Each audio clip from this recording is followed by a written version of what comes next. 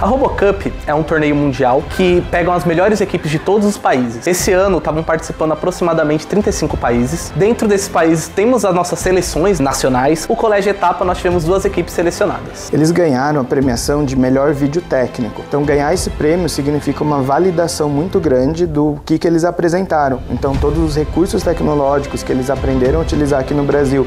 Os alunos apresentaram um robô, né? Então a gente fez essa ideia do, do Chaplin, pensando no filme dele do Tempos Modernos, para mostrar a possibilidade de interação humano-robô, que era uma, um dos itens que foi avaliado lá na RoboCup. As meninas aqui em São Paulo, elas fizeram um projeto de um robô autônomo para competir na Rescue Maze, que é um resgate em labirinto. Esse robô basicamente tinha que detectar vítimas que eram imagem, então elas faziam uma inteligência artificial ali por trás, colocavam o robô em qualquer parte do labirinto e o robô de forma autônoma resolvia todos os problemas que tinham ali dentro da arena. Para que os alunos pudessem se preparar para um torneio do nível da RoboCup, o colégio Etapa ofereceu um treinamento dividido em três principais áreas: aulas de mecânica, visando construir o robô inteiramente dentro do laboratório maker do colégio e utilizando máquinas como impressora 3D, corte a laser, torno e fresadora CNC. Aulas de programação que passaram por conceitos de machine learning como Randall Forest, por exemplo, e também aulas de teatro, porque afinal os robôs se apresentam em um palco. Então acredito que a junção desse treinamento multidisciplinar que foi oferecido para os alunos foi justamente o que possibilitou este resultado, este prêmio internacional como forma de reconhecimento de um trabalho bem executado.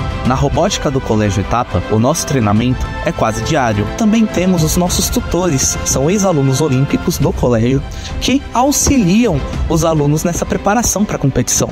Eles trazem toda uma bagagem de como funciona, de como eles participaram, de desafios que tem na competição e trazem para os alunos para eles entenderem melhor o conceito e o que eles vão enfrentar aí pela frente durante as competições. Eu queria dar os parabéns para a equipe, né? Se chegar no Mundial de Robótica e ter esse tipo de reconhecimento é fruto direto da dedicação deles. Eu vi o empenho de todos nessa competição. Vocês estão de parabéns e espero vê-los de novo ano que vem.